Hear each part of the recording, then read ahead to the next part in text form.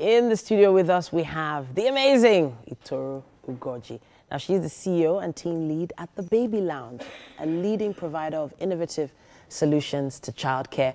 Now, she started last week on this topic on the importance of nurturing the family bond, especially during the festive period. But right now, we're taking it further. We're discussing the importance of time and attention when it comes to children. Welcome back to the studio, Itoro. Thank you, Tizzy. Thank you for having me again. Now, we've, we've had quite a few interesting discussions, but I think this one is really key for people to hear. The importance of time and attention. Um, so, time and attention are actually two different things. I feel like a lot of parents think it's the same thing. So, let's see if we can break that down. So, time and attention, in a nutshell, it's um, being there and not being there. Hmm. Okay. So, um, time, you're spending time with the child, hmm. but you're not really being there. So it's about engagement. So what do you do with the time? So we keep saying it's not about the quantity of time, but the quality of time. Okay. So while you're with the kids, you know, you have to make that time count, truly count. So how do you engage them? Mm. How do you interact with them?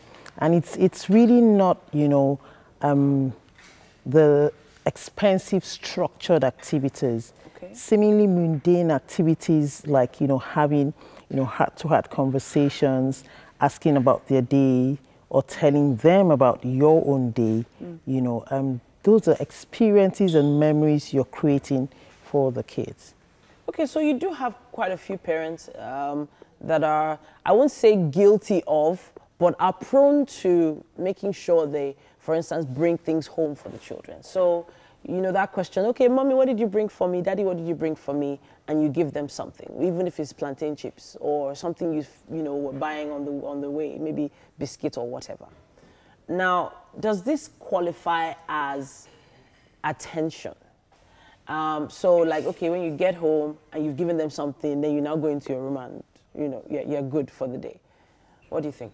So that's just a little bit of, mm. you know, the engagement. Mm. Um, so let's put it this way. You can actually have, you know, um, quality engagement with the kids mm. without those gifts. Okay. So how about your time mm. and your attention mm. and your presence being the real gift?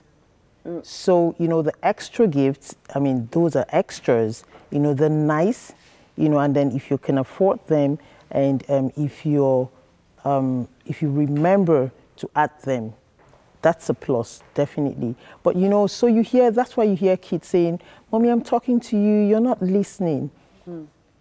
So, you, you, you, know, and if you, if you actually engage those children, they'll prefer to have their parents, you know, over and above those gifts. I would like to break down this festive period. Maybe we have a one week period to get a lot of things done. A lot of uh, offices are closing down for the holidays, maybe one and a half weeks uh, in most places, in most cases. So over that one and a half weeks, how much time do you think is adequate enough for mm. parents to spend with their children? If you can do the whole one and a half weeks, mm. fantastic.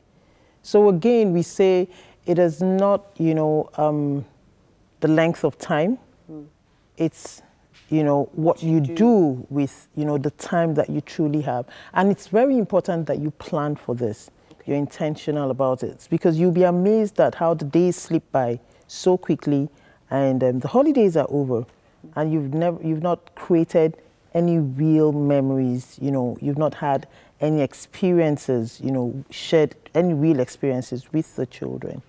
So and I'm thinking we could make some suggestions um, of activities that would make sense um, during this period. So I'm maybe a new parent now, and I don't really know how to get this engagement going. I don't know what exactly I could do with these children, apart from feeding and bathing them and putting them in front of the TV. A lot of parents don't actually know what to do with the children. Any activity suggestions? So how about starting with um, those routines that you currently have? How about starting with the feeding, bathing, you know, and putting them to bed. Now, if we pick each of these activities, we could create a truly rich and enriching experience. So putting to bed, for example, how about reading, you know, um, books to them? Okay. How about listening to audio stories with them? How about just chatting with them, you know, telling them about your day and asking, you know, discussing their own day. How about just talking about anything? Mm. Okay, meal times, how about getting them to be involved with prepping the meals, okay. setting the table? Mm. You know, um, there are fewer families eating together these days. Yeah, the dining table things. Absolutely. the dining common. experience is almost extinct. Mm. So how about, you know, um, being intentional about having those meals together as a family and chatting over those meals? So there is that uh, issue of parents having quite a lot of children. Um, now, there, on an average, you could say two, three children per household and more how does a parent divide themselves into three or four children and give them an equal amount of attention? It feels almost impossible. So it's, it's not about splitting the children and having individual interactions with them. You can have those interactions. You know, it, it just happens naturally. That this is not okay. So you you you would plan to actually um, have um, an experience with the kids, but it's not a timetable that you're creating for each child. So how about having, you know, spontaneous activities? Just make sure that please keep your phones away. Oh, the phones. Keep the, the mobile devices away.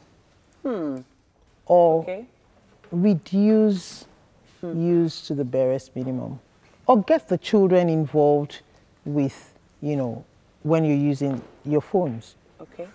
So it, it does seem to be eating into the time you could be spending. Absolutely. With, with but of children. course, ensure that you know whatever content that you're sharing on the phone is age appropriate okay. and safe for the children. All right then. Now Itoro is going to be back again next week talking to us about strengthening this family bond. When it comes to time and attention, I just feel like there's never enough of it. Uh, hopefully, we've been giving you we've given you some insight into what you can do this holiday with your kids.